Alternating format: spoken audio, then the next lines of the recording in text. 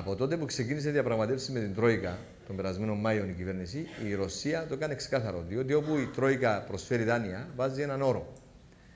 Ότι θα αποπληρωθούν πρώτα τα δικά της δάνεια και μετά θα αρχίσει να αποπληρώνεται οποιοδήποτε άλλος δανειστής.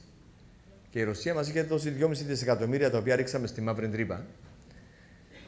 Δεν θα μας την άλλα πέντε που ζητούσαμε και να περιμένει το δάνειο της Τρόικα θα είναι 30 χρόνων.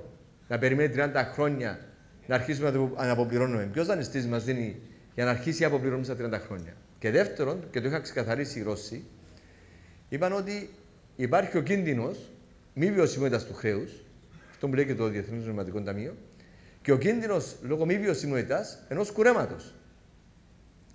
Οπότε δεν θα ήθελαν να, να αναλάβουν αυτό το ρίσκο να δώσουν 7,5 δισεκατομμύρια, αύριο να υπάρξει ένα κούρεμα του 30% και να χάσουν ξέρω εγώ, 2,5 δισεκατομμύρια.